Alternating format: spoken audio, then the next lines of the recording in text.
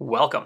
What you're about to watch is one of the lessons in my Getting Started with Obsidian course, specifically the one on how to make Obsidian work for you. So I'm going to cover some of the workflows that I use, um, like my Smart Random Notes uh, setup, uh, how I use tag notes, and some other things to really uh, leverage Obsidian to make connections for yourself.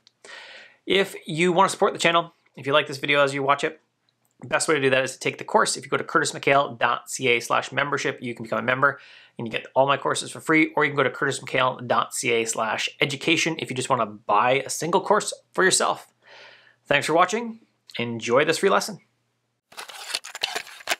In this video, we're going to go over a few things about how I think Obsidian can really work for you, how you can integrate it into your workflow so you get the maximum benefit out of it, and just a few of my, my workflow tips that I use to get the maximum benefit from Obsidian.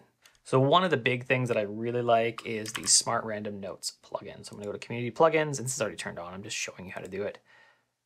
Check for updates. Let's go to Browse, and we'll go Random Note, Smart Random Note. And the reason I like this is because it works with my saved searches, and so it actually bases the Smart Random Note feature off my saved searches. I find that better than the Random Note feature because the Random Note feature does not do that. So actually with this loaded into workspace, and I showed it to you before, so I'll go load workspace, and I'm gonna go to random note. This actually puts the search up here. I don't even really need that. So I can hide that. What I'm looking for over here is backlinks and stuff. And so I'd hit the random note. And I just, you know, look through what I have. So this is a writing idea. Well-meaning parents sit on kids, uh, smoothing all problems. So this is from We Don't Want an Easy Cruise Through Life. Uh, we don't want an easy cruise through life, but parents are going to sit on top of their kids all the time, smoothing away any the ability for anything to go wrong. For me, this is the idea that we really, you know, baby children all the way up to like you know even their late teens, and we don't have, let them have any negative consequences to their decisions, negative anything in life. We like, you know, they get a bad mark and we're in talking to the teacher, which is not productive in my opinion and then then they learn that some other authority, not them, is supposed to solve other problems. And then they turn like whatever 1920, they go off and they're like suddenly have to solve their own problems. And this is a bad thing. So when I find an idea, and it's I try to do this, I try to do this every week. I'm not as good at it as I hope. Um, but then I would actually go through and start to look for other ideas. So I would read through some notes, I'd think about what I've been reading, and I take some time with each one, uh, at least a couple minutes, and just look. So here's another one. Uh, this is The Data Detective. So I would even think about this as a book I read by Tim Harford. I have reviewed it online, and I would just think, like, is there anything else that I talked about in this book? And I'd scan through the note. Is there any other thing that needs to be broken out into a smaller piece, um, into um, anything else that can help me just, you know, increase my web of knowledge? And I do that, you know, a couple times. Spotlight, I don't don't need that one. That's fine. Construction, right? What else? So a pattern language. This is for city construction. All right, and I would just kind of look through what else is in here that I maybe need to link.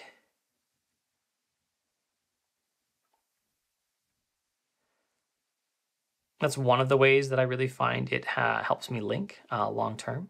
So Jeopardy as in,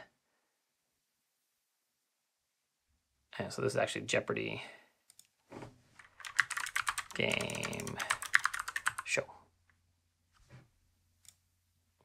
So now we don't have double matches, right? And this comes from a school values speed over depth. So even the SATs, the LSATs, uh, as talked about by Malcolm Gladwell in one of his podcasts, they value speed over depth. They don't want you to just take your time and think and have a good, strong answer. They want you to be as fast as possible. And so it actually value, a lot of these tests actually value people that are fast as opposed to people that are, can really do the job well.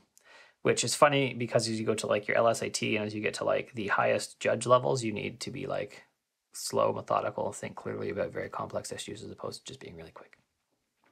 So that's one way I really uh, do it to make this work. And the other way is my tag notes.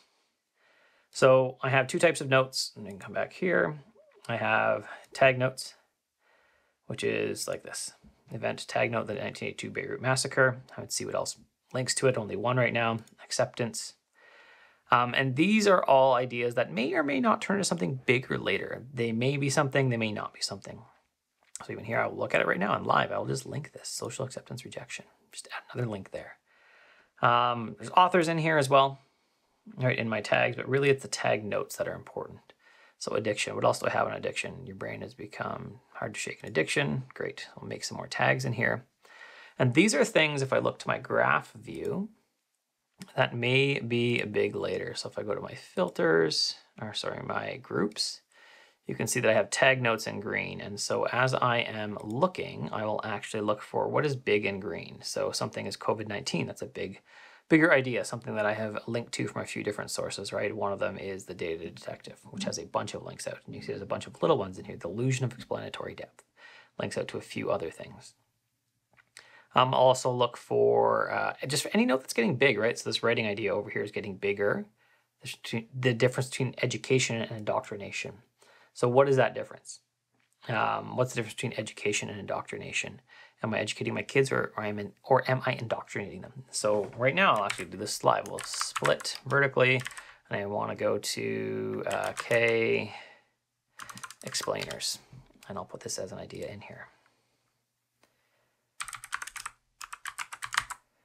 Between education and indoctrination because it's something that I want to chase down kind of longer term later on. And so I will look for things in my graph view that are continuing to collect um, weight, right? This is a big one. This will be community. I knew that because it's one that I see often in notes because it is just a big topic that I kind of dig into, right? And there's some writing ideas around this as well. The good thing about the graph view is finding things that are just kind of off on their own. So books on race, I've read a few books on race, right? I've read The Color of Law. Else have I read? Um, it's not highlighting now. This one over here, this is why I'm no longer talking to white people about race, right? And we're getting some in here that are being talked about, and I can see right here, there's a book, and this book links off to some other ideas as well. Why are all the black kids sitting together in the cafeteria is a book, but it's being linked to from the author. It's being linked to from the Savvy Ally. So that gives it more weight, right? If I have multiple books that have linked to it, then it gives it more weight that I probably should be reading. And it's also linked to from what? books on transgender, because that's also uh, been referenced in that category as well. And those are two of the big ways that I think that Obsidian can be made to work for you. Having a good uh, practice of going through your notes randomly just to see what's highlighted and see what you've learned new so that you can make more connections. And then really leveraging the graph view. I think a lot of people think it's really pretty, but they don't dig into how it can be used with doing some highlighting. And then the tag notes I find are just better. They're ideas that are going to go bigger. They are my thoughts. They are ways of categorizing information. Whereas notes are like someone else's thoughts on a topic. And so they often will link to a main tag note that I may expand on later, that I may dig into more, but they are not necessarily the main content of the notes that I want to be developing long term for myself. They are other people's thoughts, and the tag notes are more my thoughts or my ideas that will be developed long term later on.